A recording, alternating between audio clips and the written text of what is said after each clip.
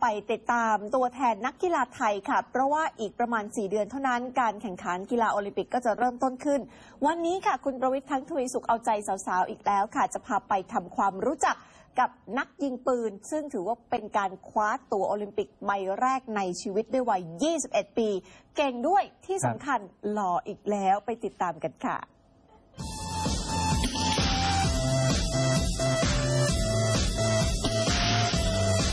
จากวันนี้เหลือเพียง 4 เดือนเศษ โอลิมปิก 2016 จะเปิดฉากขึ้นอย่างเป็นทางการ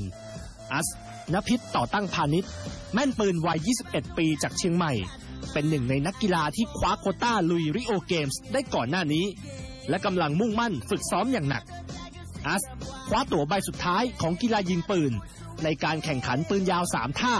ซึ่งเป็นอีเวนต์สุดท้ายในวันสุดท้ายของการคัดเลือกตัวที่อินเดีย โอลิมปิก 2016 คือกำไรชีวิต เดิมทีอัสไม่ชอบกีฬายิงปืนเลย ทั้งหมดที่ทำไป เพราะถูกแม่บังคับแรกๆผมผมผมบอกแม่แล้วว่าผมไม่ยิงปืน ผมไม่ชอบเลยแต่พอแม่แม่บังคับให้ผมยิงไปประมาณ 5-6 เดือน ผมก็ยิงจนเป็นเหมือนเป็นหน้าที่ไปครับแล้วก็ติดตัวเข ติดตัวผ้านะครับ ติดทีมชาติและได้ไปโอลิมปิก ซึ่งคนแรกที่เขาแจ้งข่าวให้ทราบก็คือ บอกแม่ครับ แต่แล้ววันนั้นแม่ก็รถมอเตอร์ไซค์ล้มพอดีเลยล้มต้องล้มก่อนที่ผมจะได้ครับครับแต่ผมก็ไม่รู้พอผมบอกข่าวกับแม่ว่าผมได้ได้ตั๋วไปโอลิมปิกแล้วนะ แม่ก็บอกว่าดีใจด้วยนะลูกแต่แม่รถล้มอยู่โรงพยาบาลครับ เวลาที่เหลืออยู่นพิษขอฝึกหนักทุกวัน